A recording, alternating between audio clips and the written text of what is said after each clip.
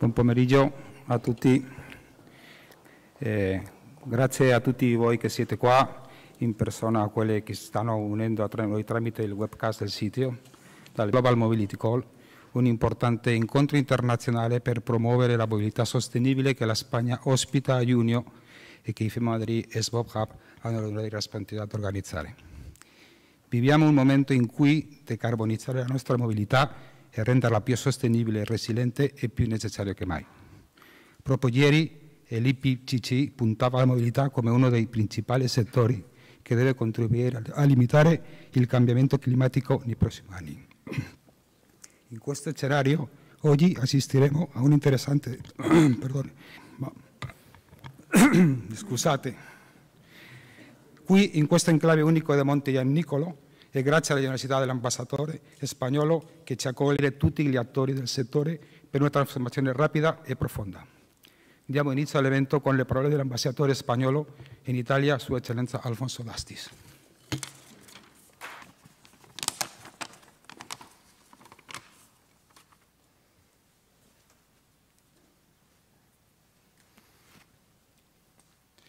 Buonasera a quelli che sono qui con noi in presenza e anche tutti quelli che ci seguono da remoto.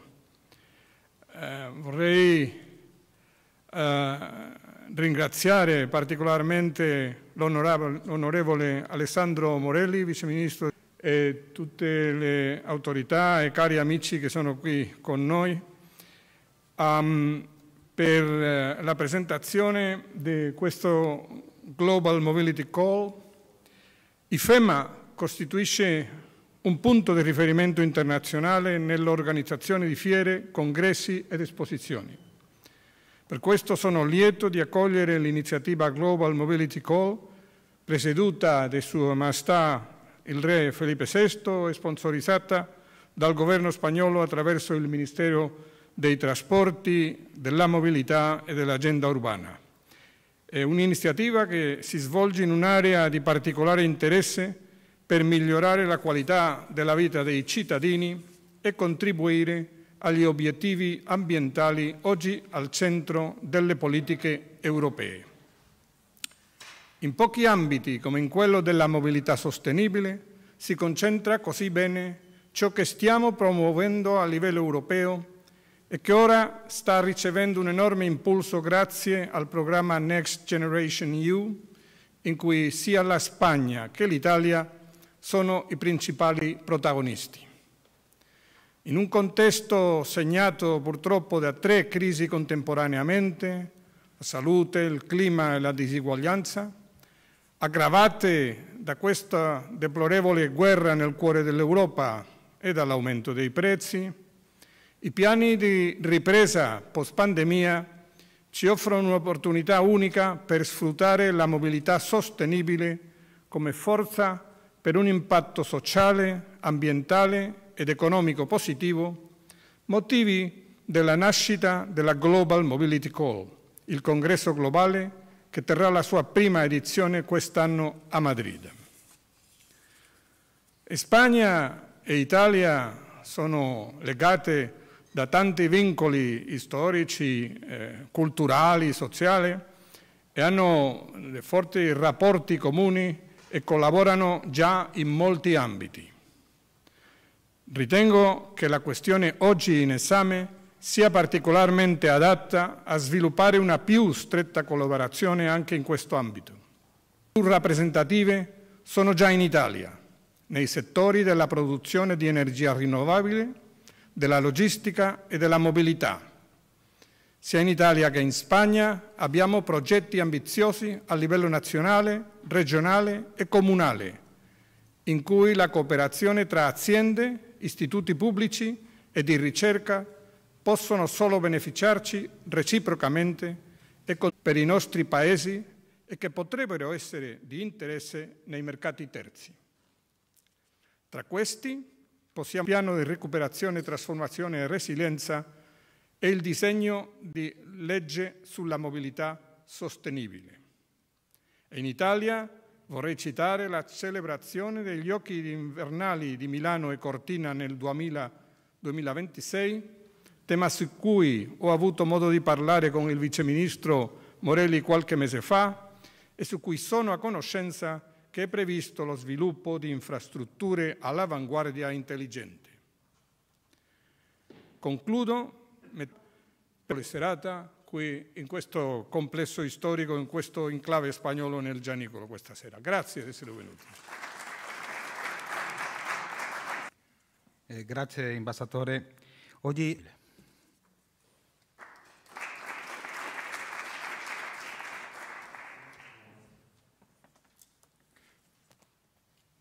l'ambasciatore Alfonso D'Astis, per il grande onore che ha voluto, voluto tutti i presenti, rappresentanti del mondo, che con Sua Eccellenza l'ambasciatore D'Astis ha voluto organizzare questa serata quale passo di avvicinamento al Global Mobility Call, che si terrà a Macegno e sensibile ai temi della mobilità. In Spagna il primo scooter bici completamente elettrico, che ora, come sapete, da turista.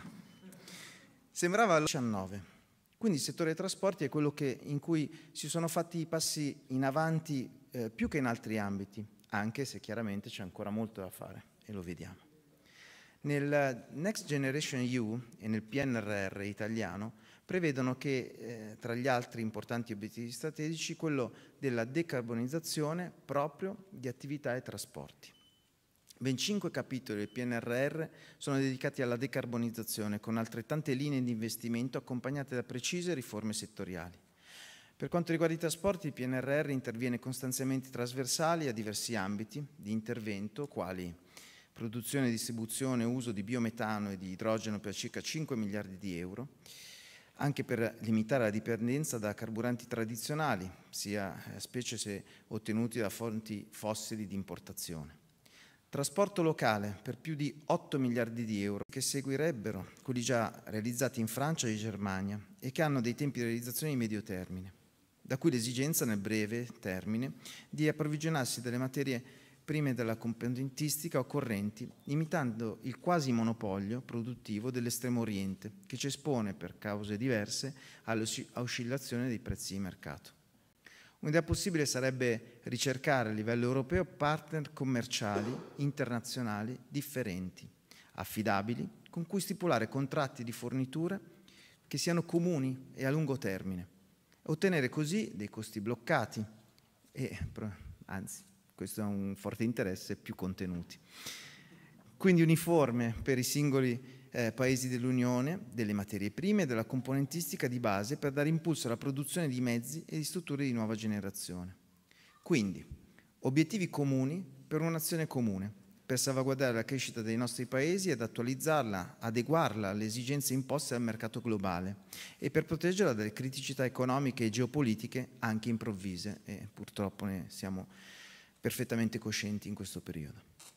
Mi auguro che opportunità come queste, con gli ottimi ed invidiabili rapporti che legano due grandi paesi mediterranei come la Spagna e l'Italia, possano essere utili a sviluppare forme tematiche di partenariato anche favorendo l'incontro tra istituzione, mondo della ricerca, università e imprenditoria. È la condivisione delle nostre conoscenze e delle nostre esperienze che ci permetterà di essere più forti e vincere le sfide imposte dal mondo che verrà, anche uscendo dalle situazioni di crisi che lo minacciano in maniera contingente. Ed allora mi vengono in mente le parole della scrittrice spagnola Ana Maria Matute. Il mondo dobbiamo crearcelo, dobbiamo creare i gradini che lo portino su che lo portino fuori dal pozzo. Grazie di nuovo e buon lavoro a tutti.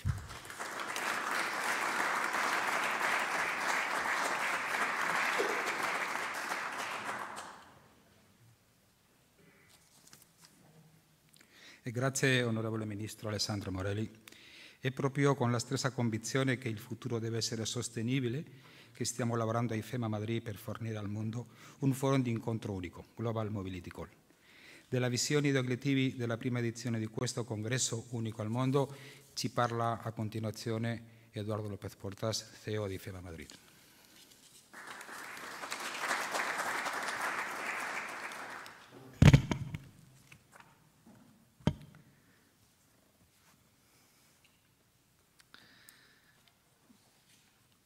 Buon pomeriggio, grazie mille ambasciatore per aver reso possibile questo evento.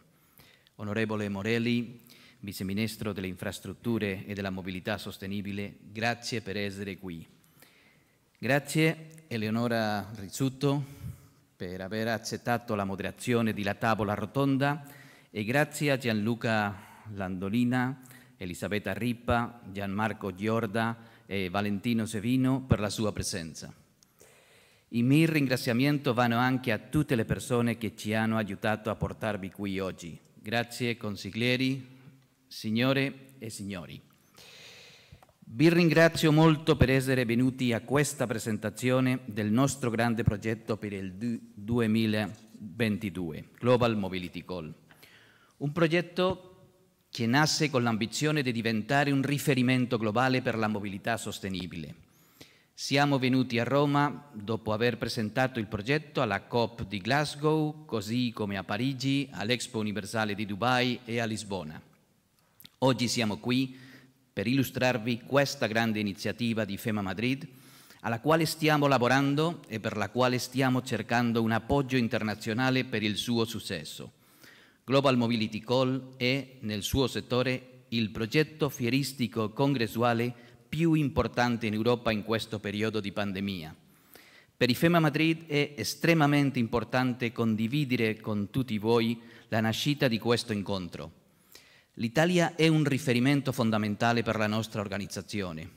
Il gruppo di fiere che organizziamo include l'Italia come uno dei paesi con la più alta partecipazione sia di aziende espositrici che di visitatori dimostrando gli intensi legami culturali ed economici che ci uniscono. Global Mobility Call è l'evento pionieristico e il punto di riferimento internazionale per la promozione di una mobilità sostenibile, sicura e inclusiva, adatta alle sfide del futuro attraverso un approccio ambizioso, olistico e trasversale. Viviamo in un'epoca di profondi cambiamenti in termini di mobilità, di trasformazione dell'industria, in cui la società richiede nuovi modi di muoversi. C'è ancora tempo per realizzare progetti innovativi e ambiziosi da abbinare grazie all'opportunità offerta dai fondi di recupero che prevedono quasi 20 miliardi di euro per questo settore, che anche tempo per incoraggiare la collaborazione tra pubblico e privato e per approfittare delle opportunità di sviluppo e investimento offerte dai fondi Next Generation EU. Global Mobility Call è un progetto diretto al settore aziendale e istituzionale. In soli tre giorni l'evento riunirà i decision maker e gli esecutori della trasformazione della mobilità, dichiarato evento di eccezionale interesse pubblico e fortemente sostenuto dall'amministrazione statale spagnola, guidata dal Ministero dei Trasporti, della Mobilità e dell'Agenda Urbana e con la partecipazione delle comunità autonome, enti locali, FEMP, associazioni, l'UE, agenzie delle Nazioni Unite, organizzazioni multilaterali, grandi aziende, PMI, start-up, in breve tutti gli attori di questo ecosistema responsabili per lo sviluppo della mobilità integrata e sostenibile. Il clou della Global Mobility Call sarà l'agenda di presentazioni e forum che promuoveranno contenuti all'avanguardia nella tecnologia e nei modelli di business. Abbiamo già una schiera di relatori, leader mondiali prestigiosi come Adina Valean, commissario europeo per i trasporti, Luis Gallego, CEO di IAG, l'economista Jeffrey Sachs, Antonio Bufrau, CEO di Repsol e molti altri che presenteranno la loro visione del futuro sostenibile della mobilità. Global Mobility Call mira a promuovere la ripresa economica e sociale dopo la pandemia, contribuire alla resilienza energetica di fronte agli shock internazionali e sfruttare le opportunità di sviluppo sostenibile presentate dal Patto Verde europeo e dai fondi Next Generation EU. Global Mobility mira a colmare l'evidente mancanza di leadership nella mobilità sostenibile in Europa e a promuovere il consenso e la coesione. Mira ad essere il forum per generare strategie comuni sfruttare le sinergie e condividere conoscenze esperienze e dibattiti.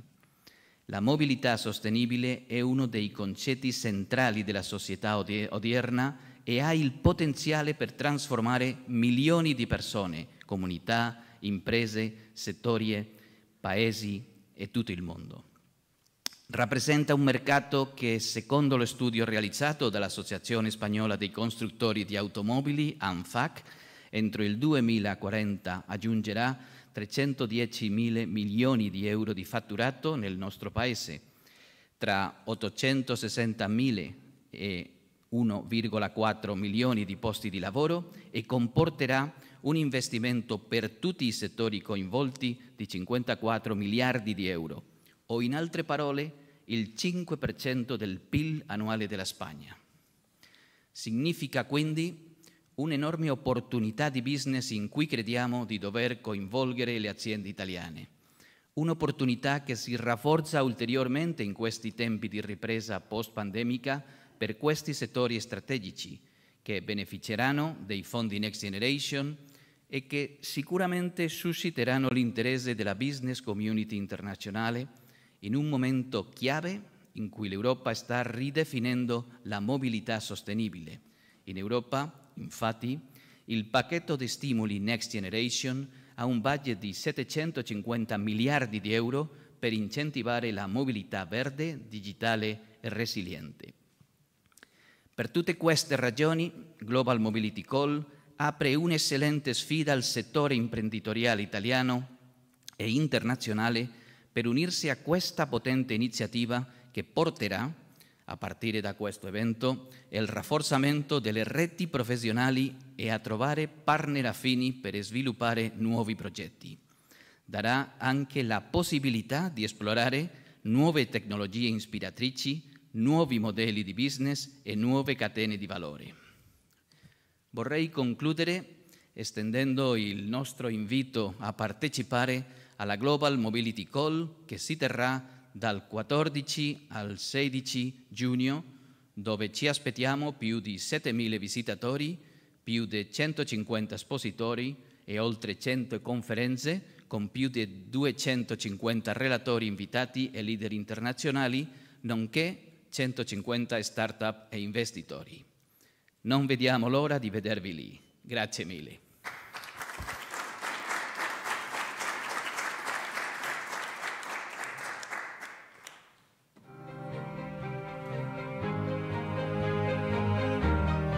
People are movement. Society and economy are movement. The world is movement. But nothing is the same anymore. Mobility is not an end in itself. It is the path towards a connected, cleaner, safer and more inclusive society, in which citizens are at the core of every initiative. Together, we have to face different challenges that affect all of us and will play a major role in the development of global society. In the face of the triple health, climate and inequalities crises, the post-pandemic recovery plans offer us a once-in-a-lifetime opportunity to harness sustainable mobility as a force for creating positive, social, environmental and economic impact. Spain's public and private institutions and companies are joining forces for the global mobility call at a time when Europe is redefining sustainable mobility. El plan de recuperación, transformación y resiliencia sitúa como uno de sus ejes muy importantes la movilidad sostenible con más de 13.000 millones de euros destinados a esta componente, a la movilidad sostenible. La principal inversión del plan se sitúa aquí. La obligación, la responsabilidad, el reto de las administraciones es poner a su disposición opciones alternativas de calidad, intermodales, que sean eficientes, que sean seguras, que sean sostenibles, que sean accesibles. Las políticas de sostenibilidad, en definitiva, nos vinculan y nos unen a todas las grandes ciudades, porque ante los mismos problemas, ante los mismos retos, tenemos que ser capaces de encontrar soluciones. Por eso me gustaría invitarles a todos ustedes a Global Mobility Call, que se va a celebrar en IFEMA en junio. This is the reason behind Global Mobility Call. A global multi-sector connected space where we will face these challenges and address the new mobility needs of society. Because we don't want to be mere users, we want to be the ones who lead the way. Innovation is the driving force behind the new society and the inspiration to face a future that is already here. A space for inspiring debate to establish a common vision of sustainable mobility featuring the main world leaders that are transforming society, where the following contents will play a key role technology, data, and innovation, new urban planning, sustainable transportation of people and goods, economic development and regulation, and the society of the future. It will be a platform for the future society, which will focus on new generations, on the rural development challenge, and boosting the growth of new business models.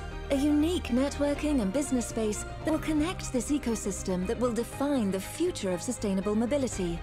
Global Mobility Call has arrived to become the global reference for sustainable mobility, the place that will bring together all the key actors that will plan the future of a connected, greener, safer, and more inclusive society.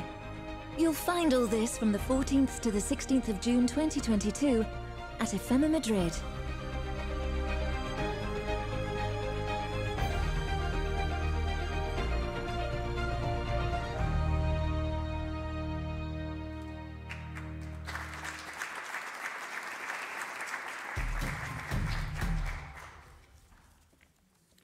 E grazie Edoardo per aver delineato la visione di Global Mobility Call e per averci dato le ultime notizie sul programma e le grandi line-up dei relatori di alto livello, che è appena stato reso pubblico e che può essere consultato sul sito web.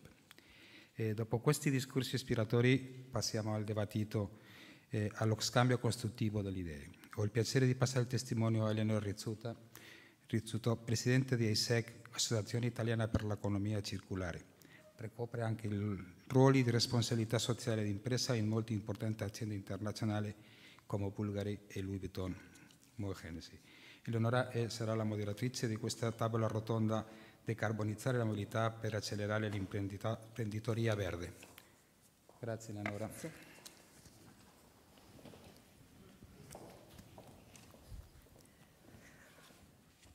Buonasera, Ringrazio Sua Eccellenza l'ambasciatore IFEMA per avermi dato questa possibilità unica e saluto il Vice Ministro. grazie per questa opportunità. Oggi ci troviamo davanti a uno dei momenti in cui magari molti di noi che hanno iniziato a operare sulla sostenibilità quasi 18 anni fa pensano che ne, valsa, che ne sia valsa la pena, perché diciamo, in un, in un contesto di questo genere, accolti da un paese che ha una, una struttura industriale produttiva non distante da, dalla nostra, dall'italiana, in un momento storicamente drammatico, tragico, eh, che ci ha visto vivere e ci sta facendo ancora vivere eh, la guerra eh, non lontano da noi e ancora prima una pandemia che ha devastato il mondo intero, ci porta anche a focalizzare quando è possibile eh, su temi di questo genere. La mobilità sostenibile, il tema su cui oggi ho il piacere di, di presentarvi, ora brevemente farò questa introduzione agli ospiti, ai relatori che abbiamo con noi, eh, rappresenta probabilmente uno delle, eh, dei mh, temi focali dello sviluppo sostenibile. Io oggi sono ehm, in rappresentanza di ISEC, Associazione Italiana per lo Sviluppo dell'Economia Circolare, che ho fondato, sono, sono ancora presidente, eh, sei anni fa. E, con Asvis, eh, cui a suo tempo il portavoce era l'attuale ministro Enrico Giovannini, si iniziò questo percorso e la, ehm, le tematiche che vedremo anche oggi ehm, dibattute intorno alla sostenibilità nella mobilità ci vede diciamo, concentrati su un unico obiettivo, quello di in effetti decarbonizzare il più possibile con degli obiettivi che siano concretamente realizzabili secondo gli accordi di Parigi, in un'ottica ormai condivisa. Ricordo che solo qualche mese fa la nostra Costituzione, quella italiana, ha avuto per la prima volta l'inserimento della tutela ambientale al, pale, al pari di quella per esempio paesaggistica già presente e questo non è un segnale solo formale, è un messaggio che un paese eh, europeo dà e che si trova all'interno di una compagine tesa e protesa alla realizzazione di questo obiettivo. Oggi, grazie all'invito di IFEMA, abbiamo la possibilità di ehm, ragionare, di scambiare delle riflessioni su questo tema. Quindi mh, ho il piacere davvero di, di presentarvi ehm, le, le persone qui con me Partiamo da eh, Elisabetta Ripa, la dottoressa Ripa, eh, amministratore delegato di NLX. Ehm, e poi appunto passeremo a Valentino Sevino, il direttore generale di AMAT, l'Agenzia Mobilità Ambiente e Territorio di Milano, con Gianmarco Giorda, direttore dell'Associazione Nazionale Filiera Industria Automobilistica ANFIA, per concludere con Giancarlo Landolina, amministratore delegato di Cellinex. Naturalmente sarà una moderazione aperta a un dibattito, quindi eh, mi siedo con loro se permettete. E, um, non so se funziona il, il, microfono ancora, mi sentite? Perfetto. Inizierei con appunto Elisabetta Ripa, che ha questa appunto, missione di portare avanti un'impresa importante eh, di Enel, eh, interamente, totalmente dedicata proprio alla, ehm, alla mobilità elettrica. Quindi ecco, io le chiederei di mh, mm, parlarci di questa realtà che è un fiore all'occhiello insomma, nel nostro Paese. Eh, intanto buonasera a tutti, grazie per questo invito, eccellenza molto gradito. Buonasera onorevole e buonasera a IFEMA che eh, ha questa splendida iniziativa. Io mi auguro che il Global Mobility Call sia per eh, la mobilità sostenibile, quello, il grandissimo successo che il GSM World Congress è stato nel passato per la mobilità nell'ambito delle telecomunicazioni. Indubbiamente è stato possibile concentrare in quell'evento lo sviluppo, la definizione dei piani strategici, delle roadmap, rappresentando indubbiamente un momento di grande crescita e di eh, anche condivisione, quindi mi auguro che riusciate a replicare quel successo. Allora, parlare di mobilità sostenibile è, è rilevante anche perché, come sappiamo, un quarto delle emissioni oggi deriva dai trasporti, quindi se vogliamo parlare di decarbonizzazione non possiamo che partire dal tema dei trasporti. Per Enel che ha fatto della missione diciamo, della sostenibilità e della decarbonizzazione la propria missione di sviluppo e anche il suo fondamento di crescita strategica, quindi non si poteva prescindere dalla focalizzazione sull'ambito della mobilità, della mobilità elettrica, perché per noi è così che si declina la mobilità sostenibile, attraverso anche un impegno che ormai da anni si sta eh, dedicando all'attività, ma in questi mesi anche con un'ulteriore accelerazione e focalizzazione che ha portato alla creazione di questo gruppo di società che ho il piacere di guidare e che appunto ha eh, l'obiettivo di essere focalizzati sulla mobilità elettrica nei 17 paesi in cui operiamo, perché l'attività non è concentrata solo in Italia e in Spagna attraverso Endesa X-Way che rappresenta sicuramente una realtà e lo rappresenterà anche nel futuro molto importante per trainare la transizione verso la mobilità elettrica, ma anche in Sud America e in tutti i paesi dove il gruppo Enel è presente con la propria diciamo, offerta nelle diverse fasi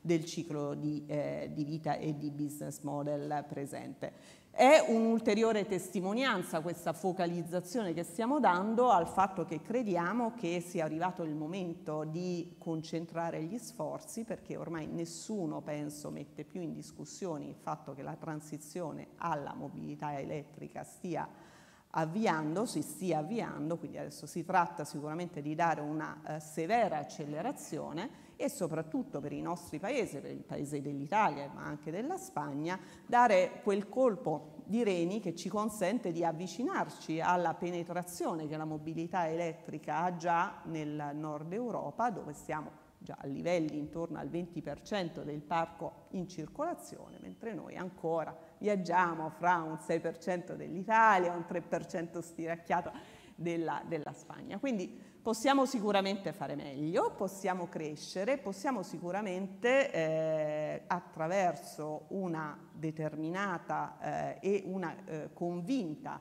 eh, anche eh, attività di costruzione dell'ecosistema, perché le grandi innovazioni, come è stato per le telecomunicazioni, così penso per la mobilità elettrica, le grandi innovazioni non si realizzano da sole, si realizzano attraverso un sistema ed è quindi questo l'obiettivo del gruppo Enel, quello di mettere a fattor comune eh, le proprie infrastrutture, il proprio know-how per determinare una forte accelerazione dello sviluppo.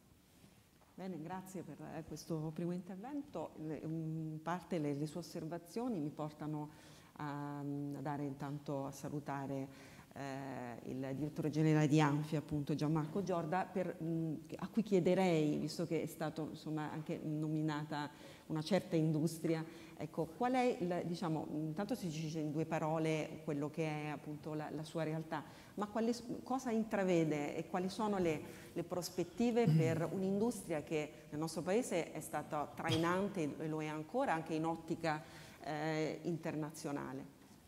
Sì, innanzitutto buonasera a tutti, grazie per l'invito all'ambasciatore, saluto il vice ministro e il direttore della fiera di Madrid.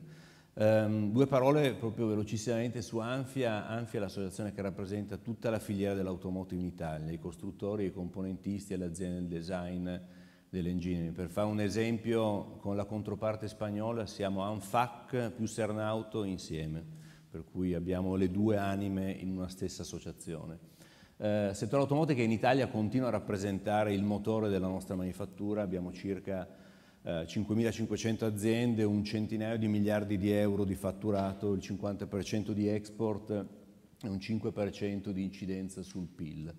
Al di là di questi numeri, adesso vorrei darvi invece qual è diciamo, la nostra posizione, il nostro sentiment rispetto alla decarbonizzazione e alla mobilità sostenibile. Innanzitutto sgombro qualsiasi dubbio dal fatto che l'industria automotive italiana è assolutamente a favore della decarbonizzazione, a favore di una mobilità veramente sostenibile, per cui noi abbracciamo e cavalchiamo la mobilità elettrica, questo lo voglio sottolineare perché qualche volta si pensa ancora che l'industria dell'auto sia in una posizione di retroguardia rispetto invece alle frontiere di sviluppo che il settore deve affrontare. Assolutamente no.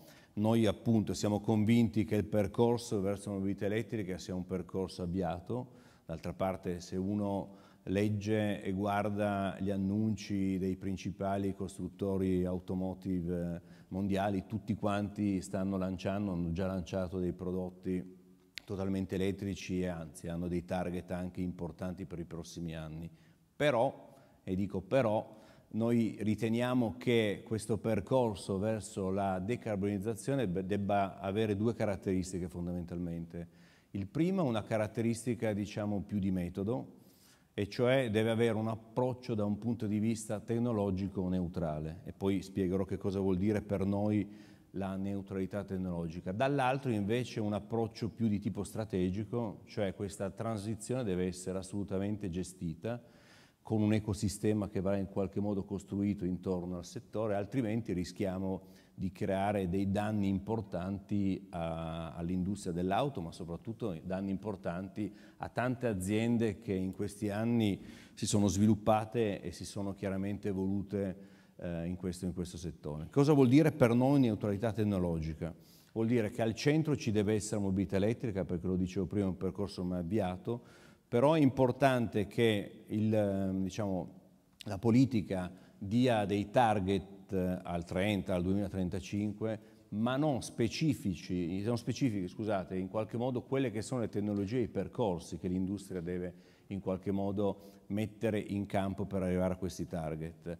Um, è importante che ci siano anche altre soluzioni oltre all'elettrificazione, faccio per esempio riferimento ai biocombustibili piuttosto che ai carburanti sintetici, ma anche all'idrogeno come vettore per motori termici oppure chiaramente all'idrogeno fuel cell. Ci sono missioni diverse che chiaramente il mondo dei trasporti ha, da una parte ci sono le autovetture ma dall'altra ci sono i veicoli commerciali leggeri, ci sono eh, i camion, per cui a seconda chiaramente delle emissioni e delle caratteristiche d'uso è importante individuare delle tecnologie che possono contribuire in maniera significativa appunto alla decarbonizzazione del mondo dei trasporti. L'altro tema fondamentale che dicevo prima è quello che eh, appunto questo percorso va gestito in maniera proattiva, va gestito magari dopo spiegherò secondo noi quali sono le tre leve importanti per gestire questo percorso. Eh, le cito solamente, da una parte una politica industriale importante con degli strumenti anche nuovi, straordinari perché il momento veramente è particolare, dall'altra un set di incentivi alla domanda soprattutto per la mobilità elettrica. E il terzo aspetto che riguarda forse più la collega di Enel è lavorare in maniera molto molto più ficcante rispetto a quello che si è fatto oggi sulle infrastrutture soprattutto per il residenziale che rimane una delle componenti forse un po' più deboli in Italia che va nei prossimi anni sicuramente alimentata e migliorata. Sì, ne parliamo anche, insomma, anche nel eh, secondo round di, di, di, di, riflessioni, ma una cosa importante volevo chiederle circa questo, diciamo, lei ha citato l'ecosistema sicuramente che è un concetto che è emerso anche nell'altro intervento.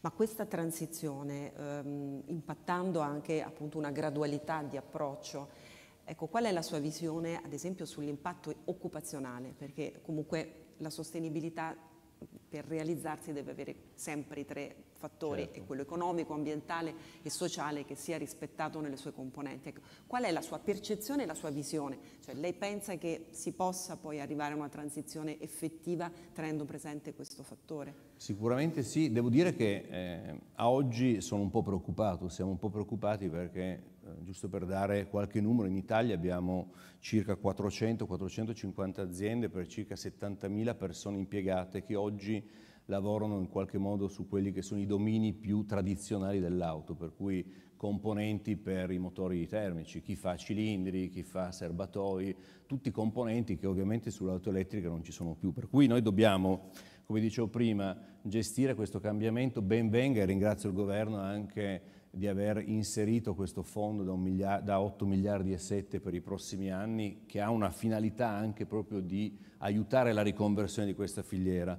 Però ehm, quello che voglio dire in maniera molto chiara è che noi reputiamo e pensiamo che probabilmente non ci sarà spazio per tutti.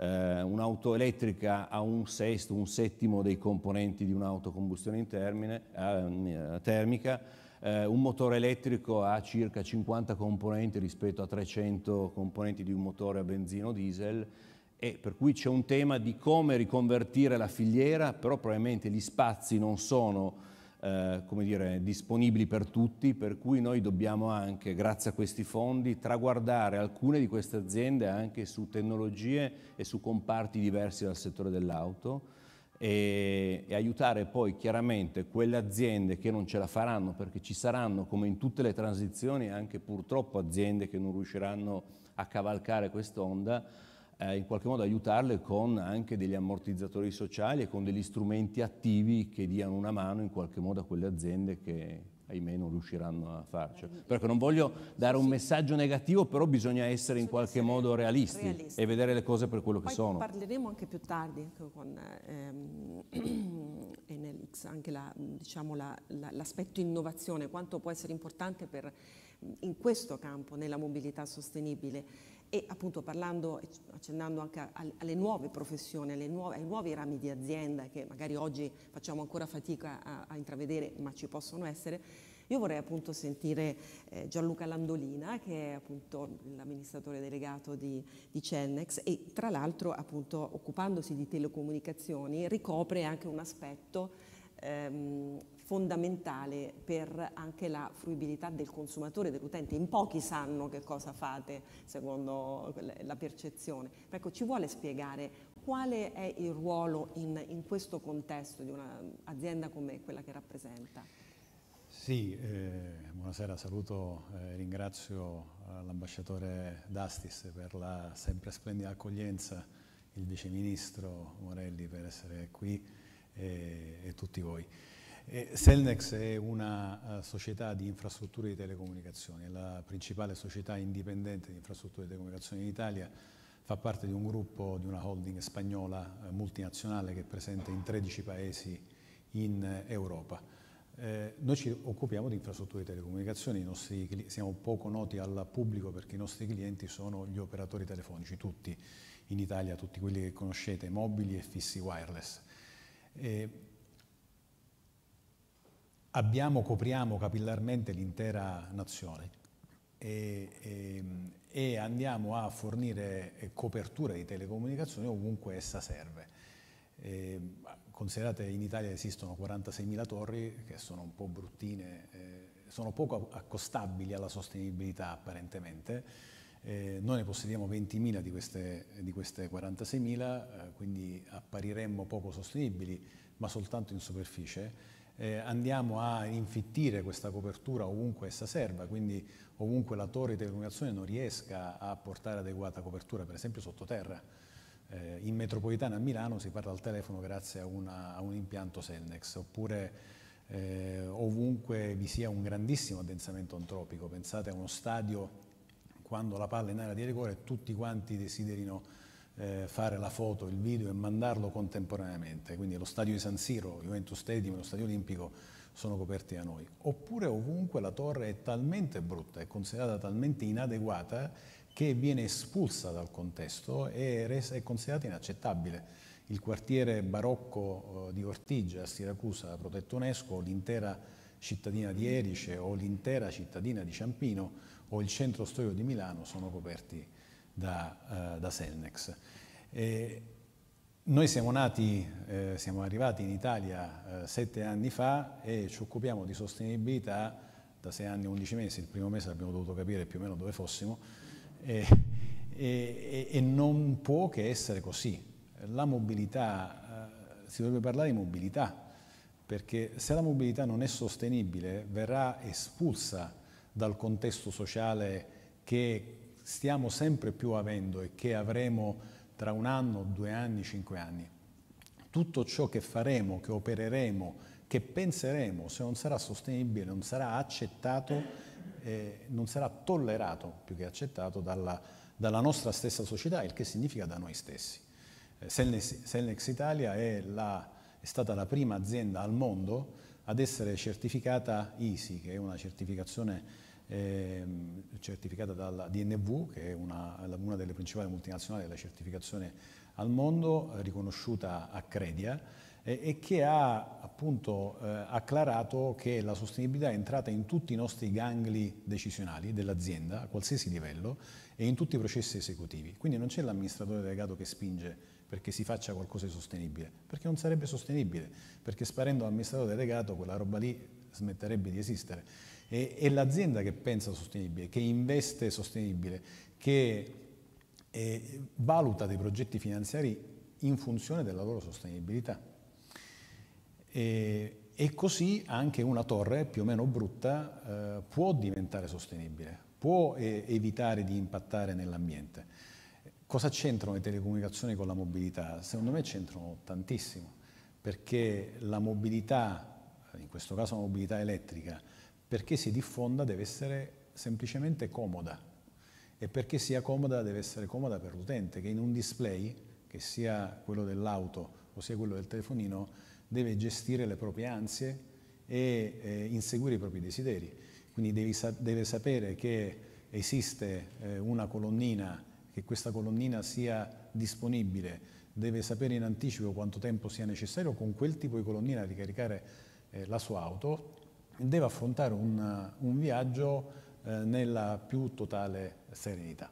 Eh, e quindi per questo motivo le telecomunicazioni hanno, sono parecchio e intimamente interrelate anche con la mobilità. Grazie per questa spiegazione perché, ripeto, è, una, è uno dei, settori, il suo su cui si ha ancora fatica a percepirla dal punto di vista dell'utente, poi della mobilità invece è importante. E però ha citato anche un fatto e un, diciamo, una, un'area delicata e importante per tutti noi, cioè la copertura di spazi comuni.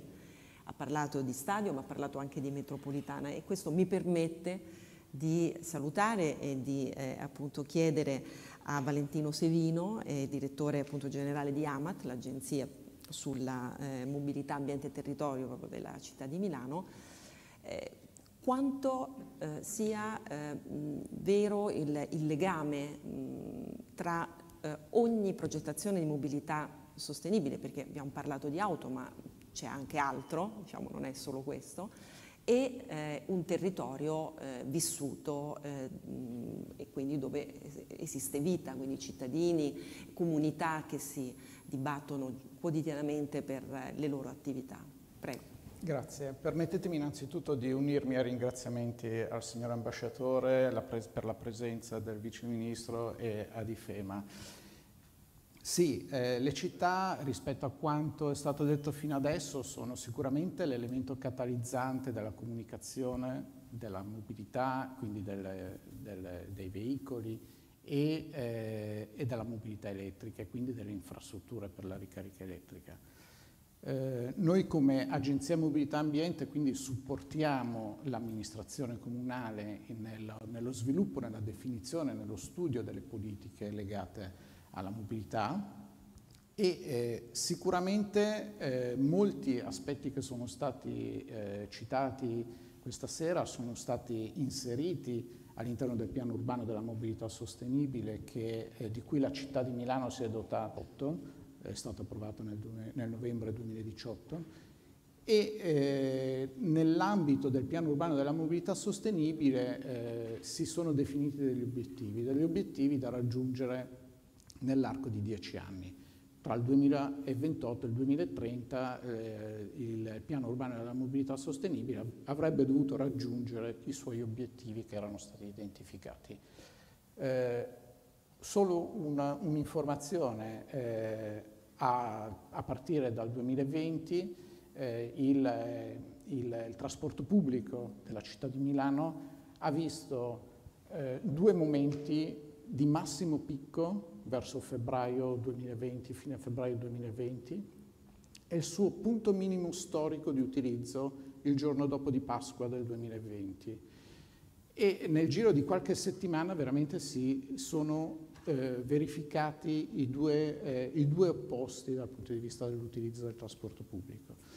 Eh, il tema della pandemia ha eh, fatto, ehm, ha fatto pensare alle città a una nuova modalità di approccio della mobilità e eh, la città a sua, a sua, volta ha dovuto rigenerare eh, alcuni obiettivi che si era, si era definita nell'ambito del piano urbano della mobilità sostenibile. Eh, L'Agenzia eh, ha fornito dati, monitoravamo dati e continuiamo a farlo ancora oggi, nonostante siamo usciti da qualche giorno dal periodo di emergenza, eh, continuiamo a fornire dati di utilizzo del trasporto pubblico, dati di eh, frequentazione e congestione della rete stradale giorno dopo giorno per eh, trovare il giusto equilibrio tra regole e necessità di spostamento. Eh, dei, ci sono stati dei periodi durante, durante il periodo d'emergenza in cui le regole cambiavano quasi di giorno in giorno e l'amministrazione, grazie a questo supporto tecnico che noi fornivamo eh, con questi monitoraggi continui, riusciva a definire questo giusto equilibrio per garantire alla città di continuare a vivere eh, nonostante quello che si stava vivendo. Questo comunque ha permesso di eh, accelerare, accelerare alcuni, alcuni, obiettivi che erano stati definiti nell'ambito del, del piano della mobilità sostenibile. Ad esempio, eh, quando avevamo identificato eh, la rete di ricarica elettrica per garantire la possibilità di eh, avere una mobilità elettrica in città, avevamo identificato un obiettivo e poi nell'identificare questo obiettivo avevamo abbassato o meglio identificato un ulteriore scenario, quindi avevamo identificato uno scenario di massima e uno scenario di minima rispetto alla rete di ricarica elettrica. Ebbene, il, lo scorso anno, quindi a fine 2021, la città di Milano ha raggiunto in termini di, eh, di numero di punti di ricarica elettrica lo scenario massimo che avevamo identificato. Infatti adesso stiamo ridefinendo un aggiornamento del piano della rete di ricarica elettrica, proprio perché avevamo, abbiamo raggiunto il massimo che avevamo identificato nel piano urbano della mobilità sostenibile e succede a Milano e lo vediamo anche, diciamo, anche chi viene da fuori, quindi una certa efficienza, una certa anche eh, diciamo, visione. Come fare a portare il modello Milano per esempio ad Agrigento? Ne parlavamo prima quando eravamo in, in, in biblioteca a parlare tra di noi, perché è interessante anche poter esportare in altre città italiane questo modello che è virtuoso. A suo avviso, le, qual è la ricetta allora, per poterlo fare? Secondo me, eh, quando si parla di mobilità sostenibile, bisogna pensare che la mobilità sostenibile è, eh, è opportunità di scelta. Quindi eh, i soggetti devono, l'utenza, il, il, cittadino, chi vive la città, deve eh, avere l'opportunità di scegliere il sistema migliore per soddisfare l'esigenza di mobilità di quel determinato momento che potrebbe essere differente dall'esigenza di mobilità magari del viaggio di ritorno. Quindi sicuramente creare delle opportunità. Ovviamente creare delle opportunità non è eh, così facile in tutti gli ambienti, in tutti i contesti urbani, eh, quindi ogni contesto urbano va analizzato a sé e nell'ambito di quelle che sono le specificità di ogni eh, contesto urbano trovare le giuste soluzioni, ma avendo sempre l'obiettivo di creare le opportunità. La ringrazio. Elisabetta Ripa, abbiamo parlato appunto delle, delle, diciamo delle mh, mm, mh, mm, possibilità che il settore ha, ancora del potenziale, diciamo, mh, mm, nonostante sia matura l'industria di questo genere. A suo avviso l'innovazione che ruolo può giocare la ricerca, insomma la, la possibilità di utare, utilizzare l'alta tecnologia nella, nella, mobilità sostenibile in generale e poi anche, insomma, soprattutto nel, nel suo settore. Ma l'innovazione gioca un ruolo fondamentale nella transizione energetica in tutti i settori. Questo è indubbio, lo abbiamo visto negli anni passati ed è stato proprio l'attenzione e la focalizzazione all'innovazione che ci ha consentito di, anche come Paese, come Italia, anche grazie al lavoro di Enel, acquisire una posizione tutto sommato eh, diciamo migliore di quello che sarebbe potuta essere stante la situazione geopolitica e le caratteristiche del nostro Paese in termini sia di dipendenza eh, dalle fonti energetiche diciamo, eh, straniere internazionali sia per quanto riguarda la, la sostenibilità economica no? dello sviluppo e delle fonti di energia.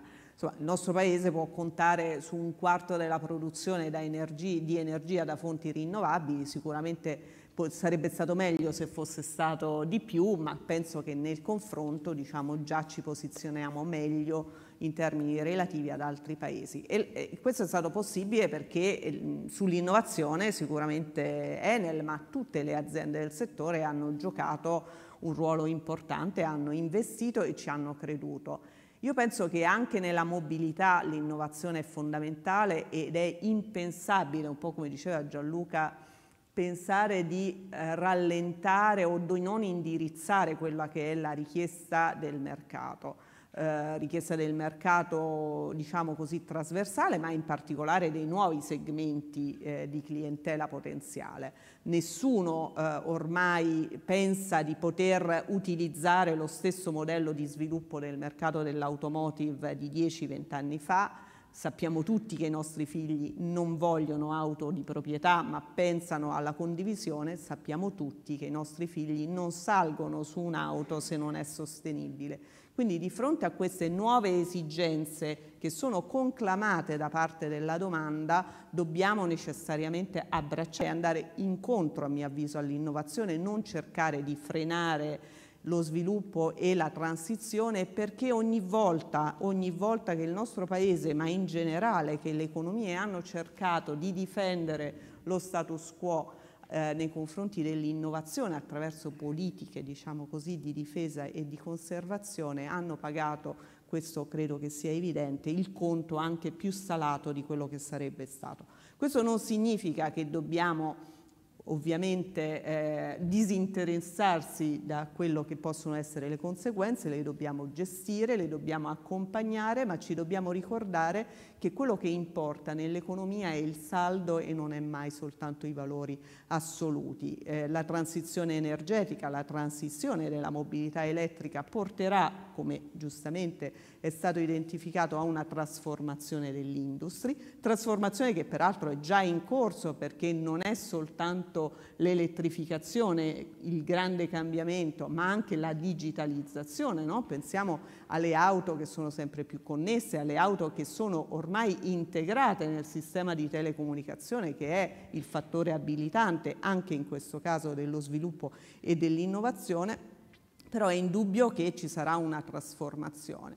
Quindi per posti di lavoro che saranno ovviamente messi in, in discussione o che porranno subire delle trasformazioni, ce ne saranno nuovi che nasceranno. Noi siamo ad esempio un, un, diciamo così, un caso concreto come un grande gruppo sta investendo nella mobilità elettrica assumendo nuove professionalità, diciamo con un piano di espansione concreto, creando investimenti per costruire quei fattori abilitanti di cui parlavamo prima, cioè quelle infrastrutture di ricarica che servono proprio per accompagnare lo sviluppo della uh, mobilità elettrica. Investimenti che ricadono sul territorio, investimenti che sono veicolati attraverso aziende del territorio, perché ovviamente si costruiscono infrastrutture in Italia e in Spagna con manodopera locale, e sono investimenti che abilitano un ecosistema, come dicevamo prima, che può determinare la richiesta di nuove, anzi lo farà sicuramente, di nuove competenze che devono ovviamente o essere create nel mercato del lavoro e nel mondo dell'educazione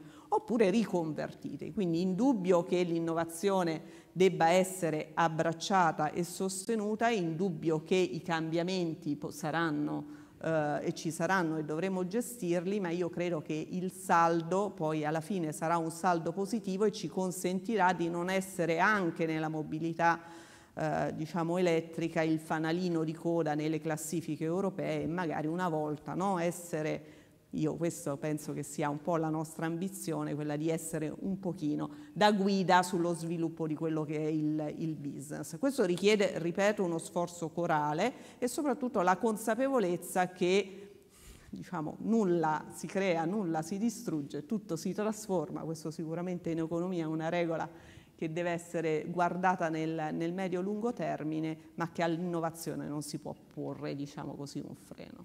Allora, ringrazio, chiaro. Gianmarco Giorda, allora abbiamo parlato sicuramente della, della, questione occupazionale, quindi in questa transizione nuove competenze e un fatto importante, cioè quello di eh, anche dirottare l'istruzione, i corsi universitari, la nuova formazione verso questo nuovo modo di, di gestire la mobilità.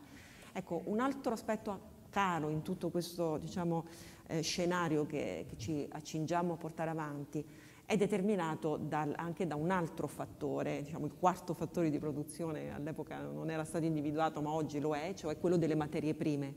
A suo avviso eh, l'industria in questo momento, in questa fase proprio geopolitica attuale, quale sofferenze ha e quale ne avrà da qui ai prossimi anni che possa impattare l'intero sistema? Ma allora rispondo prima a questa, questa, suggestione. Allora, per quanto riguarda le materie prime, il settore sta vivendo un periodo complicatissimo perché già da, da almeno un anno e mezzo soffriamo di tre problemi.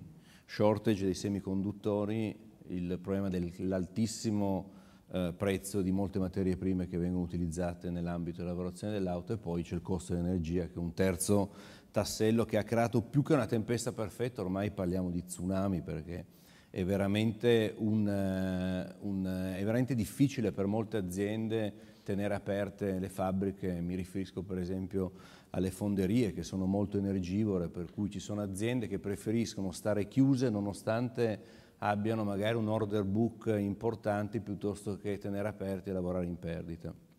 Per cui questo problema che non è più un problema contingente perché ormai è da un anno e passa che, che lo stiamo affrontando, rischia di eh, esserci ancora almeno per un anno, un anno e mezzo. E questo sta creando a livello poi produttivo degli stop and go perché ci sono produttori di veicoli che hanno degli stabilimenti che tengono aperti magari per un mese, poi chiusi per due settimane, chiaramente con un problema poi anche a cascata su tutta la supply chain, che tra l'altro la nostra supply chain è molto collegata anche ai produttori esteri, non solo nazionali.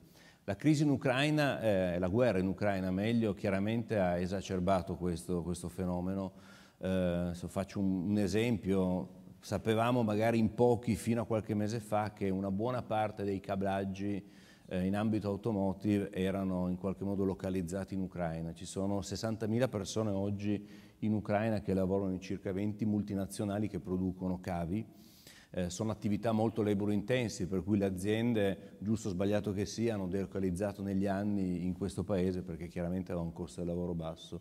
Questo problema dei cablaggi sta creando di nuovo un problema di stop and go a livello produttivo, tant'è che i numeri della produzione del mercato in Europa, ma in generale nel mondo, stanno calando in maniera vertiginosa. Uno, un piano vero in Italia per la transizione verso la mobilità elettrica, di nuovo il, il fondo chiaramente un primo supporto, noi abbiamo bisogno di rivoluzionare gli strumenti a oggi di incentivazione, per esempio per l'acquisto di nuovi macchinari, per la riconversione produttiva, per la ricerca e sviluppo, perché aiutare aziende che oggi fanno marmite e serbatoi a rifare qualcos'altro non è semplice, vanno aiutate, magari hanno un'idea, vanno aiutate nel cambiare i macchinari e le linee di montaggio magari prendendone altre, piuttosto che se l'imprenditore non ha un'idea di come trasformare le candele in, in qualche componente per, per so, lo statore il rotore per il motore elettrico deve essere aiutato con magari ingenti anche fondi per la ricerca e sviluppo, magari credito di imposta e quant'altro. E poi sicuramente il reskilling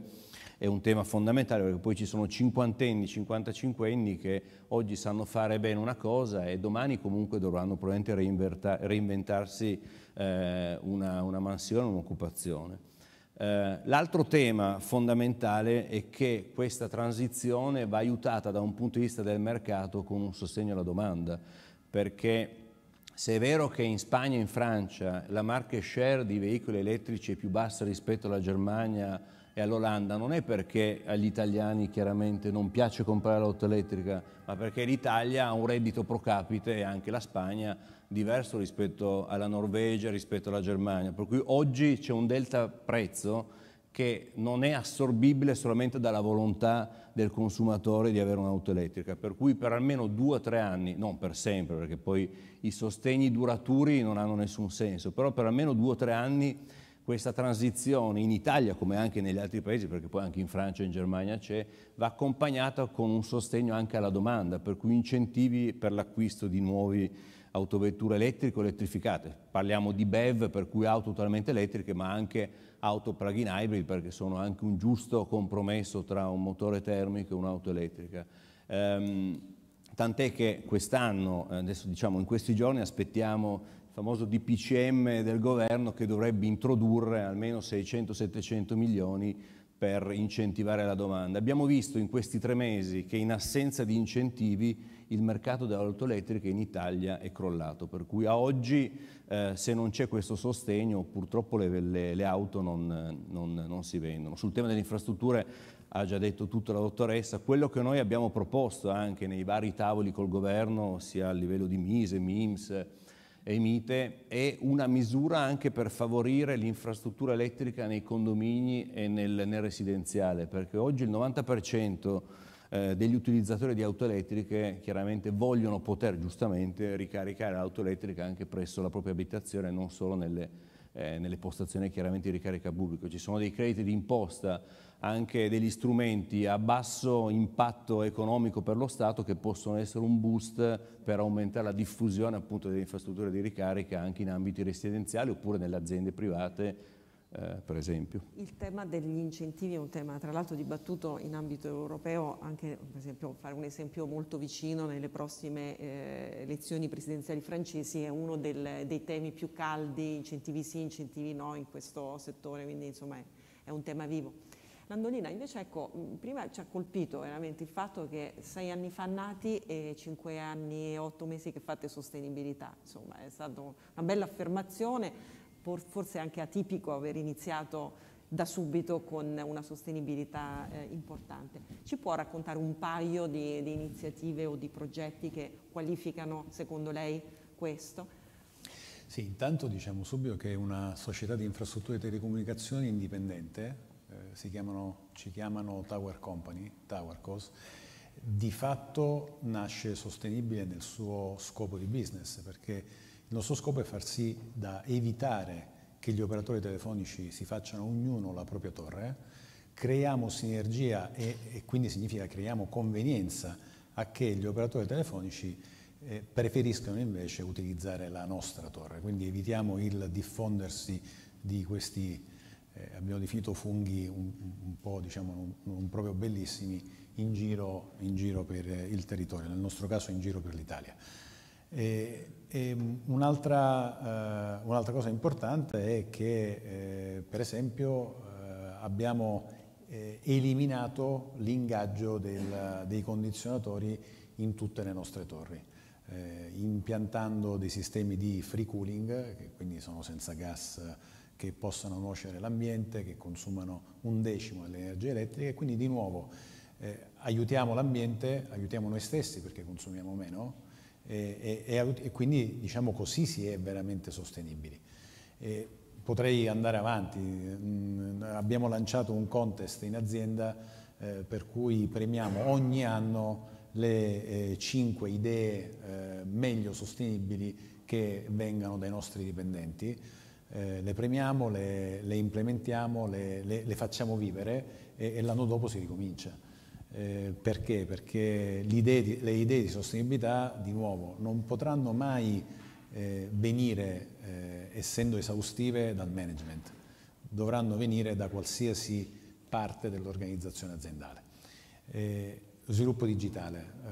Noi abbiamo lanciato lo scorso anno la prima rete eh, di telecomunicazioni, eh, l'ORA, è una rete IoT in Italia. Stiamo utilizzando le nostre torri per diffondere questa copertura, una copertura minimamente impattante, praticamente ha quasi zero, zero emissioni elettromagnetiche, che copre dei device IoT che hanno una batteria che dura tra i 5 e i 7 anni e che ti permette di fare tutto, anche il geoposizionamento eh, il geoposizionamento delle colonnine ti permette di controllarle a distanza, eh, è bidirezionale, eh, non soltanto leggono un contesto ma anche lo possono cambiare eh, e funziona per tutti i, i, casi di disaster recovery, quindi quando non dovesse, è complementare alla, alla rete elettrica e quindi quando dovesse esserci per qualsiasi motivo, molto spesso per un motivo eh, antropico, un'interruzione eh, un incidente o quant'altro, un'interruzione della corrente elettrica, eh, con questi device, con questo tipo di copertura, eh, riesci a comunque essere perfettamente consapevole di quello, eh, di quello che è successo. Sviluppo digitale, eh, non dobbiamo avere paura della digitalizzazione. Eh, se io vedo ciò che faceva mio padre, che oggi sta, è entrato nel suo novantesimo anno, che Dio diciamo, lo conservi, rispetto a quello che faccio io, la mia vita è rispetto alla sua, di quando era attivo, molto più multitasking, molto più apparentemente stressante. Lui mi dice che io faccio una vita stressante, io non, non sento di fare una vita, una vita stressante e, e, questa cosa qui è un trend. Eh, e quindi eh, oggi si dice che si dice, ci sono degli studi fatti per cui il lavoro non dell'operaio, ma il lavoro dell'amministratore delegato eh, può essere sostituibile al 60% da un adeguato software di intelligenza artificiale artificiale qualora si occupi di un contesto molto dinamico. Un contesto un po' più stabile può essere sostituito al 90%. Quindi diventeremo inutili anche noi amministratori delegati, in realtà non diventeremo inutili, in realtà dovremo eh, eh, riciclarci in altro, potremo fare altro, diventeremo ancora più multitasking e magari ci divertiremo ancora di più. Speriamo, ce lo auguriamo nel rispetto dell'ambiente. Silvino, per concludere questa, questa nostra diciamo, chiacchierata, poi diamo spazio a, alle domande, sicuramente è interessante un momento di scambio. Ecco, dal suo punto di vista, ehm, quali sono ancora diciamo, gli ostacoli da superare perché il modello che ci ha spiegato poc'anzi possa avere una realizzazione in effetti più piena, ancora di più a suo avviso? Ecco, che cosa manca e se se è un tema più locale o più a questo punto di visione strategica nazionale. Ecco. Sicuramente eh, un tema di visione strategica nazionale che venga poi calato a quella che è la realtà singole, dei singoli territori. Però permettetemi di eh, evidenziare un aspetto, sempre seguendo la sua domanda, nel senso che fino adesso abbiamo parlato di trasporto di persone, ma molto spesso ci dimentichiamo del trasporto delle merci, della logistica, della logistica urbana, della logistica nazionale. Eh, tutte le tematiche qui eh, evidenziate, eh, il tema della comunicazione per il trasporto merci è importantissimo. Ovviamente avere veicoli adeguati e eh, strutture di ricarica adeguate per permettere il trasporto merci, ma anche eh, consentire, quindi definire delle tecnologie che possano consentire alle amministrazioni di eh, attivare delle politiche di mobilità anche legate al trasporto merci che abbiamo visto essere cresciuto in maniera esponenziale. Ho letto un articolo sul Sole 24 Ore che evidenziava come intorno a Milano si stiano eh, concentrando la maggior parte degli investimenti immobiliari legati proprio al tema della logistica urbana. Eh, le persone le possiamo, far, le possiamo eh, portare, trasportare col trasporto pubblico, le merci non riusciamo a trasportarle col trasporto pubblico, quindi occorre definire proprio una politica territoriale e nazionale eh, legata al trasporto delle merci. Tra l'altro chiudendo, poi do spazio alle domande, è un tema questo importantissimo anche per il settore privato perché in tutti i bilanci non eh, eh finanziari oggi il KPI, il misuratore del trasporto, di quanto incide un trasporto di merce e quindi se utilizza forme sostenibili o meno, ha un valore come tassonomia sempre più alto, quindi è un altro dei temi in cui bisogna fare ecosistema, in cui bisogna veramente stringere eh, eh, eh, diciamo, le forze intorno ad un obiettivo comune. Bene, io vi ringrazio, è davvero è molto interessante, a questo punto lascerei... Siamo, siamo nei tempi.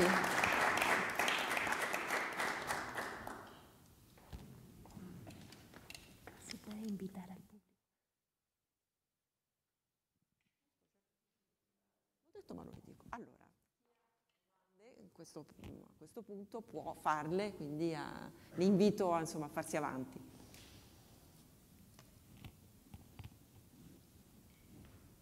Nessuno? Prego, prego.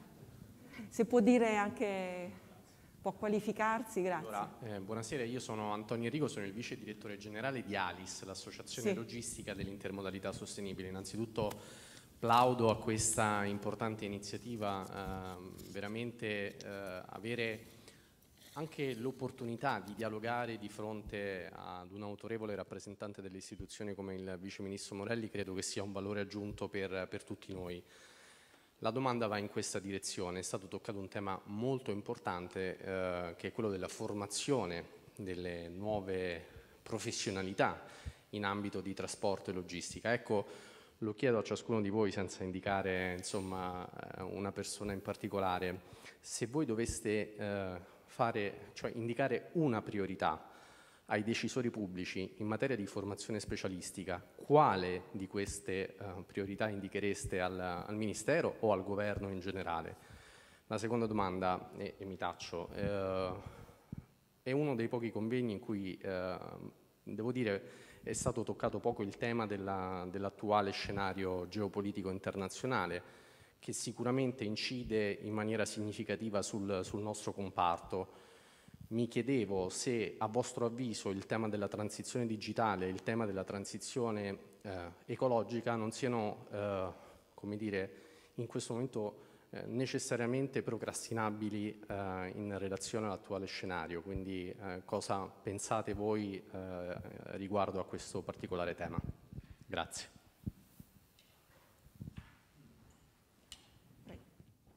Chi vuole rispondere? Ma magari visto che il tema delle competenze lo avevo sollevato io, io penso che l'Italia e così anche la Spagna deve necessariamente dare un'accelerazione nello sviluppo del, delle attività professionali e delle competenze degli istituti tecnici professionali. Sembrerà paradossale nel mondo in cui viviamo, ma quello che è lo shortage o il, diciamo, il punto più critico è identificare personale, periti tecnici che possano eh, andare a sviluppare e a mettere a terra gli importanti investimenti di cui abbiamo anche parlato, quelli sviluppati nell'alveo della Next Generation EU ehm, periti tecnici che possono rappresentare e devono rappresentare quella forza che va poi a manutenere gli investimenti di infrastruttura che stiamo facendo in tutti i settori, non solo quello della mobilità elettrica dove già diciamo, noi abbiamo ad esempio in Italia oltre 14.000 oggetti attivi sul territorio, circa 5.000 sono i punti di ricarica che Endesa gestisce in Spagna, sono oggetti che necessitano manutenzione, necessitano di essere ovviamente sempre connessi e sempre disponibili per i nostri clienti. Quindi il mondo delle, scuole professionali è un mondo che dobbiamo rifondare, che dobbiamo valorizzare, non è più diciamo, una scuola di serie B, ma servirà sempre di più. E poi l'altro estremo, quello del mondo dell'analisi, degli analytics dei big data, perché di nuovo anche per la mobilità sostenibile tutto passa attraverso una profonda conoscenza dei comportamenti del cliente, una analisi attenta dei comportamenti di utilizzo per andare a posizionare in una logica di massima efficienza e sostenibilità, perché le due cose sono intimamente connesse, le infrastrutture di ricarica nei posti giusti dove ci sono forte pedonabilità e confluenza di traffico e ottimizzare quindi la possibilità eh, per il cliente di avere un'esperienza di utilizzo che sia un'esperienza piacevole e non, diciamo così, caratterizzata dalle ansie che possono determinare le grandi innovazioni. Questo è un po' secondo me il tema. No, io, io partirei dalla, eh, dalla, dalla, seconda domanda sul, sull'opportunità sull'opportunità di procrastinare la sostenibilità in funzione di quello che sta succedendo attorno a noi.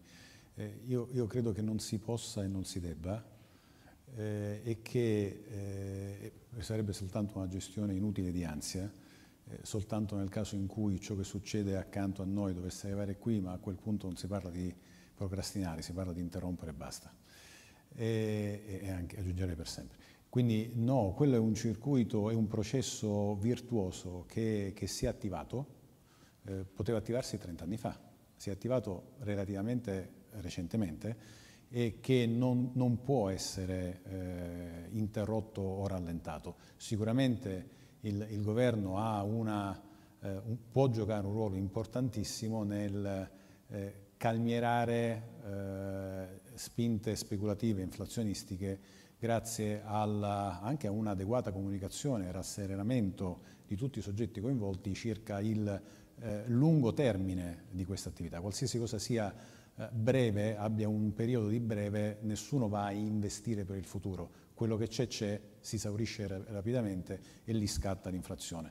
Probabilmente, eh, ora non voglio tracimare in contesti che non riguardano questo ambito, però l'eco bonus per esempio è una cosa stupenda eh, per il semplice fatto che sappiamo tutti che durerà tre anni e nessuno va più a investire a produrre impalcature che fra tre anni ha paura che non verranno più vendute. Quindi quelle che ci sono, ci sono costano tantissimi soldi e si vanno a recuperare, se, non, se sono finite quelle italiane, in, in Albania come, come, cosa che si sta facendo.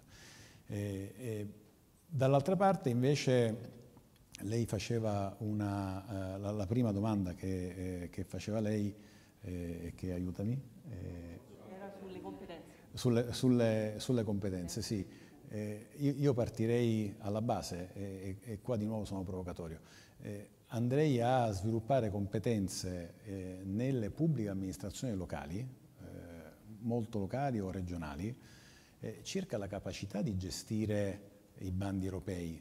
Se io penso ai, alle centinaia di milioni di euro che restituite, venivano restituite alla comunità europea fino a l'altro ieri eh, dalla eh, Sicilia, me ne, me ne, tolgo perché, perché sono siciliano, o, o, da altre regioni per eh, incapacità della gestione dei bandi, incapacità di creare un circuito virtuoso e un acculturamento vir virtuoso eh, nelle, eh, nelle, comunità locali perché questi bandi potessero essere fruiti in maniera diciamo, creando un valore prospettico per il futuro, eh, allora io lì sì, io andrei a, a, a, uniformare, se si può fare in Puglia, per esempio, si deve poter fare anche in Sardegna. Non, perché no? Perché non, ci, non, ci, non, non, si riesce a fare eh, questa compensazione di gap culturali in maniera, in maniera virtuosa?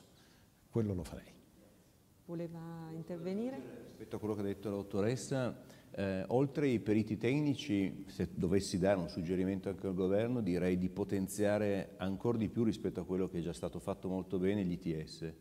Eh, dal nostro punto di vista come settore dell'auto gli istituti tecnici superiori sono un, estremo, un bacino di estremo interesse molto efficiente, efficace anche per eh, ragazzi che escono e trovano nell'80-90% eh, lavoro in 7, 8, 10 mesi, per cui magari eh, focalizzare ulteriormente alcuni percorsi sui temi della mobilità sostenibile eh, la gestione delle batterie piuttosto che anche alcuni temi legati alla cyber security, senza arrivare ovviamente dire, a fare concorrenza con i profili alti che possono uscire da, da ingegneria, però sicuramente è, un, è, un, è uno strumento che sta dando veramente dei risultati ottimali e invece per arrivare un po' più sul concreto una figura che dal nostro punto di vista, visto che si è parlato di trasporto anche delle merci, una figura su cui bisognerebbe investire tanto e ridare dignità al lavoro dell'autista.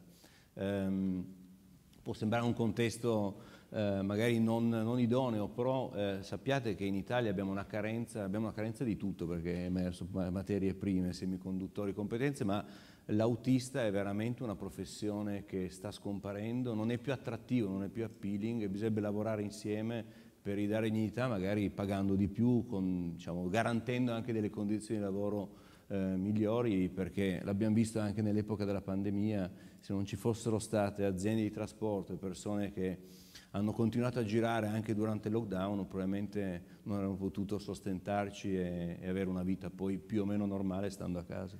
Se posso aggiungere, sulla, poi lascio a lei, ehm, su questo tema delle professioni ha un grande eh, valore aggiunto quello che può fare la città, cioè il contesto eh, appunto integrato di eh, eh enti insieme al, diciamo, al, mondo della scuola e di quello universitario, perché è anche quel tessuto urbano dove la comunicazione con le porte aperte, con diciamo, una certa informazione, perché manca quasi totalmente ormai diciamo, l'informazione al, alle famiglie di quello che sono le nuove professioni è una grande, insomma, rappresenta un bel, un bel, una bella partita. Sicuramente. Se posso aggiungere, eh, mi volevo collegare a quanto evidenziato dalla dottoressa eh, sul tema dei big data, eh, perché eh, questo per noi è un... Eh, noi sono, saranno almeno 4-5 anni che stiamo lavorando con, con, i big data, ci sono stati molto utili, l'amministrazione ha apprezzato l'uso che eh, siamo in grado di fare con i big data,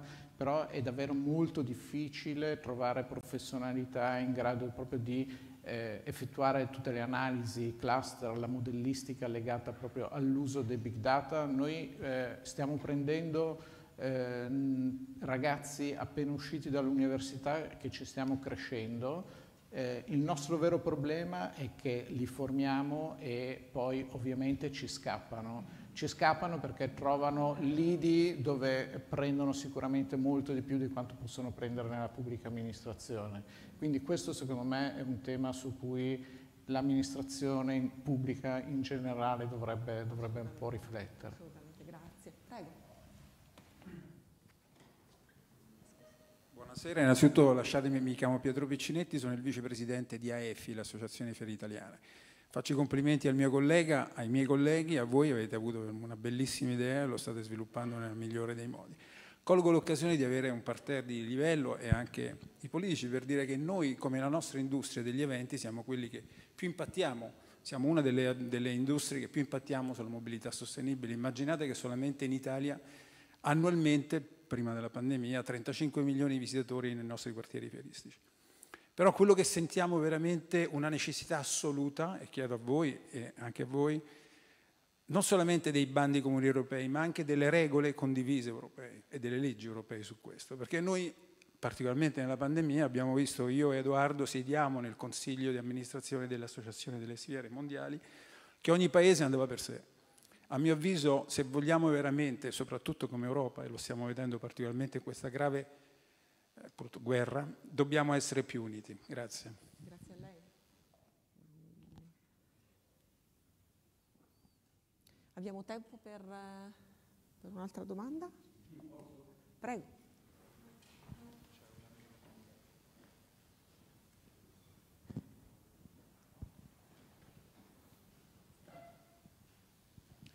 Grazie, buonasera, grazie Eccellenza per questa ospitalità e un saluto al Vice Ministro e a tutti.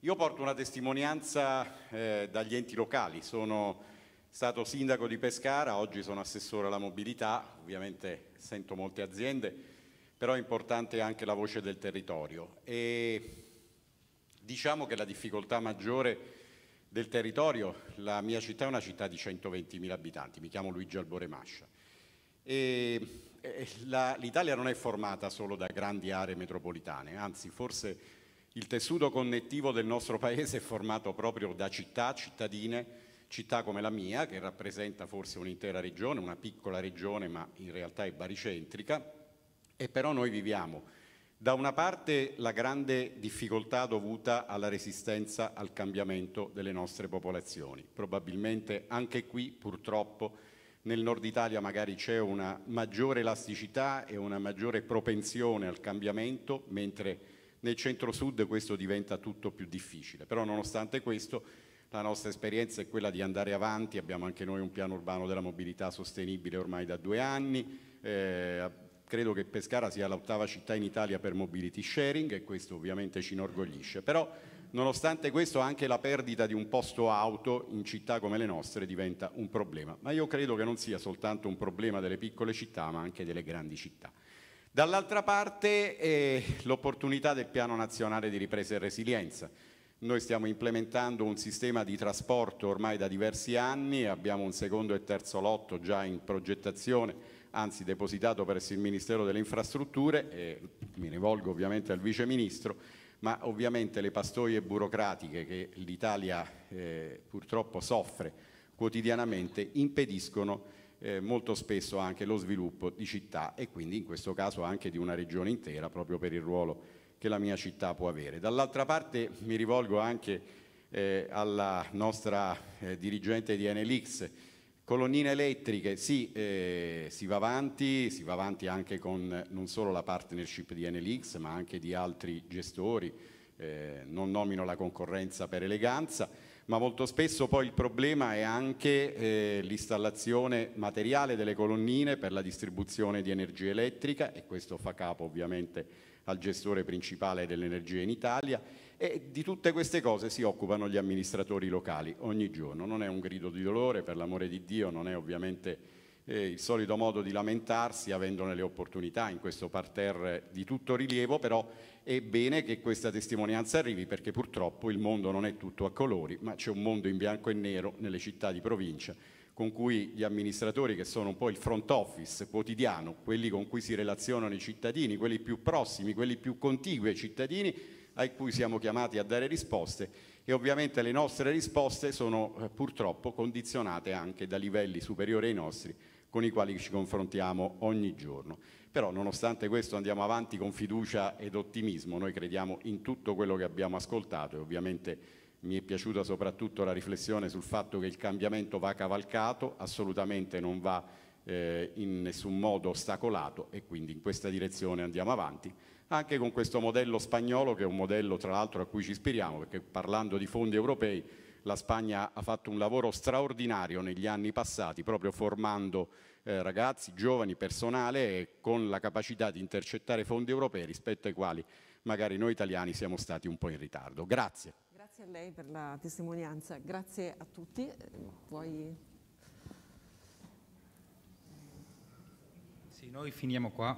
Grazie grazie a tutti, abbiamo esaurito il tempo. Grazie Elisabetta e a tutti i panelisti per il tempo che avete avuto con noi. Grazie ambasciatore per la vostra ospità, grazie onorevole vice ministro, grazie a tutti voi. Noi facciamo una... Adesso bisogna unire l'utile al, al, al dilettevole, quindi c'è un, un vino. E... Una...